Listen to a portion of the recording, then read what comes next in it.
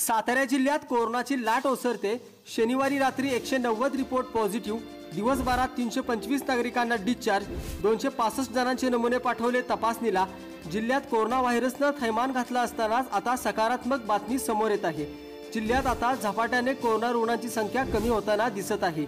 आज ही नवीन रुग्णांपेक्षा कोरोनामुक्त झालेल्या रुग्णांची संख्या अधिक आहे. शनिवारी दिवसभरात जिल्ह्यातील विविध रुग्णालयात आणि कोरोना केअर सेंटरमध्ये उपचार घेत असलेल्या तीनशे पंचवीस नागरिकांना आज घरी सोडण्यात आले. तर दिवसभरात दोनशे पासष्ट जणांचे नमुने तपासणीकरिता पाठवण्यात आले आहेत.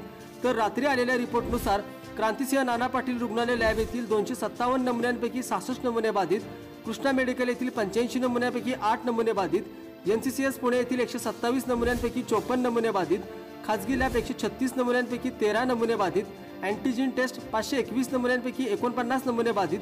असे सर्व मिळून एक हजार एकशे सव्वीस नमुन्यांपैकी एकशे नव्वद रिपोर्ट पॉझिटिव्ह आले आहेत. जिल्ह्यात आजपर्यंत एक लाख एकोणऐंशी हजार दोनशे अठ्ठावन्न नागरिकांचे नमुने तपासण्यात आले असून यापैकी पंचेचाळीस हजार दोनशे साठ बाधित आढळले आहेत. तर अडतीस हजार नऊशे शहाऐंशी रुग्णांनी कोरोनावर यशस्वी मात केली आहे. एक हजार चारशे ब्याण्णव रुग्णांचा दुर्दैवी मृत्यू झाला आहे. जिल्ह्यात सध्या चार हजार सातशे ब्याऐंशी रुग्णांवर उपचार सुरू आहेत.